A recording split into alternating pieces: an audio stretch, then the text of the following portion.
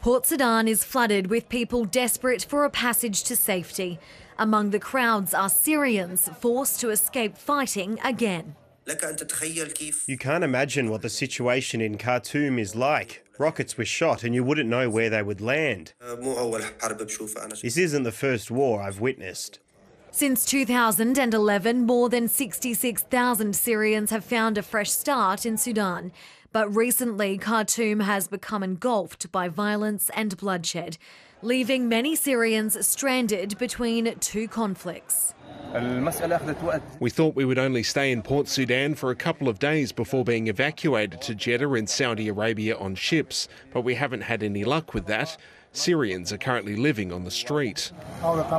Those who have residency in other countries or in Saudi with a valid passport, the rest of the Syrian families will be directly evacuated to Syria. The UN says 330,000 Sudanese have been displaced inside the country's borders since April the 15th, while another 100,000 have already crossed into neighbouring countries. Others have braved the journey to Port Sudan. Gunshots and explosions have continued in Khartoum and Omdurman between the warring parties, the Sudanese Armed Forces and the paramilitary Rapid Support Forces, despite a mediated ceasefire.